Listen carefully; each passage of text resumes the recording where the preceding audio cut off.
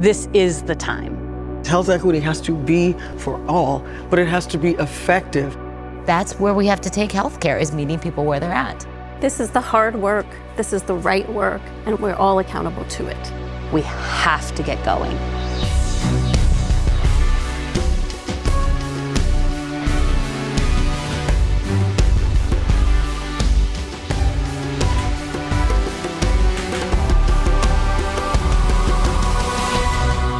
You know, health equity is not doing something radically different than no. what we're called to do as an organization. It brings us right back to who we are. Mm-hmm. We're called to respond to each person and their unique needs. To mm-hmm. know me, care for me, and ease my, my way. way. Beautiful, right? I mean, that that promise statement, to know me, care for me, ease my way.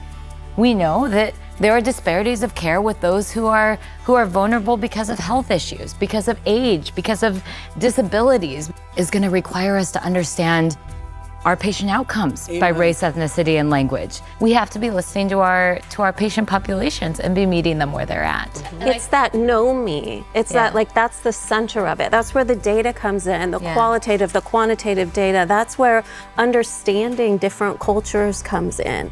Health equity has to be for all, but it has to be effective. And that efficacy is going to show up differently for different communities. And it's understanding the nuances and being mindful of what's going to be effective to make health equity work.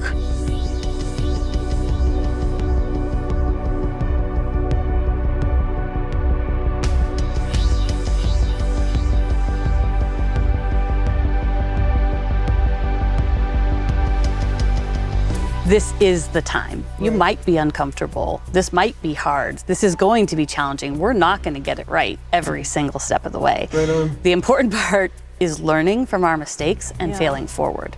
Is this work a sprint or a marathon? In my opinion, this work is both. It is the action, the urgency has to happen. We have to get going. We cannot wait till our data is perfect or until the right dollar amount is allocated, whatever it is.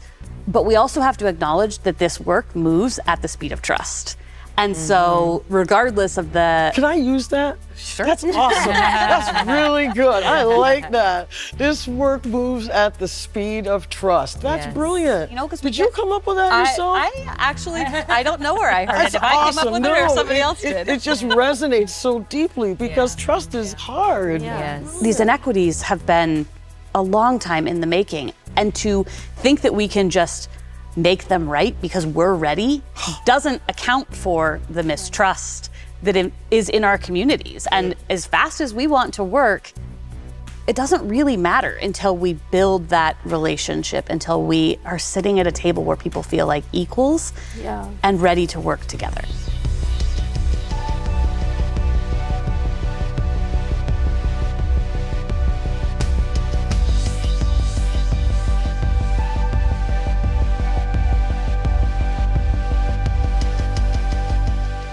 I would love, Whitney, for you to talk about what's going on in Southern California where we're actually meeting with our community partners at the same table. So, you know, COVID wasn't the first time we had seen inequities mm. in outcomes, right? Yeah. I mean, this wasn't new learnings for us as a healthcare organization. I think it just became so visceral that it could no longer be ignored. And so we need to figure out how we move forward. And I think in Southern California, the first outreach was how do we help? And it was listening to those communities, the group of 13 churches, um, historically black churches in LA, and helping them with what they needed, not with what we thought, right?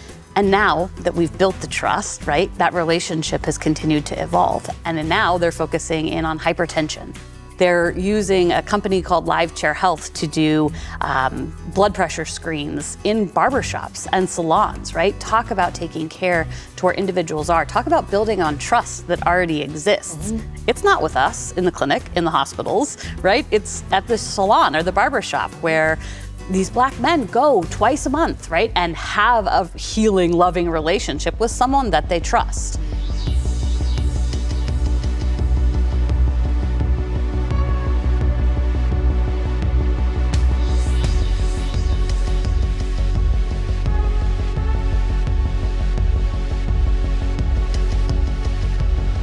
This is a lifelong journey that we are all Absolutely. on. This isn't going to be, oh, five years, we checked the box, we've Right. eliminated health disparities. I mean, this is going to take conscious effort day in and day out for the rest of our lives. Right on. Yeah. It's an exciting time for every single one of our caregivers to be able to learn, to know our patients, to take that step, to have the permission to look at data in new and exciting ways, to go out to the communities and to really allow our services to take that extra step in being welcoming and personalized. Mm-hmm. One of the positive outcomes of the work that we're doing is that we are all going to come and connect and understand, empathize, and learn a little bit more about each other on a very interpersonal level. And that can only raise us all up. Sure, yeah. And health for a better world is health equity for all. Amen. So when that is at the basis and that's the foundation of how we look at quality and how we build our programs, then we've really embedded health equity into who we are as an organization. So it's not a question of it starting or ending. It's a question of how do we ensure that it's systematically part of who we are moving forward.